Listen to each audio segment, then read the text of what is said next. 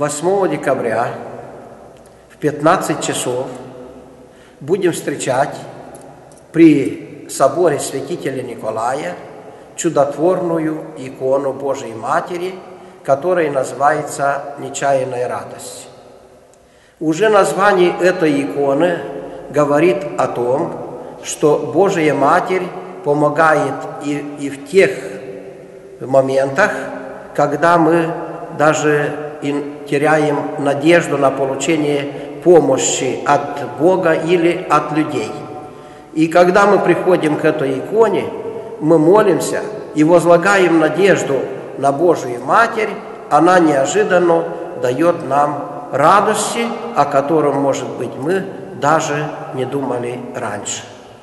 Икона Божией Матери будет в нашем храме до 25 декабря.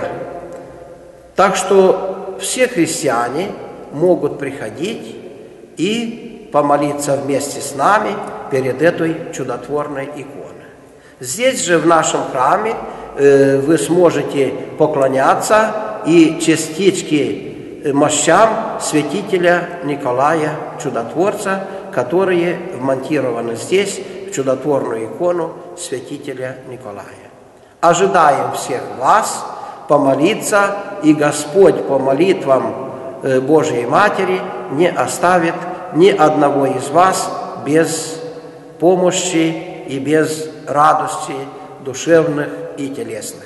Протоиерей Михаил Саракуца, настоятель Николаевского собора муниципального.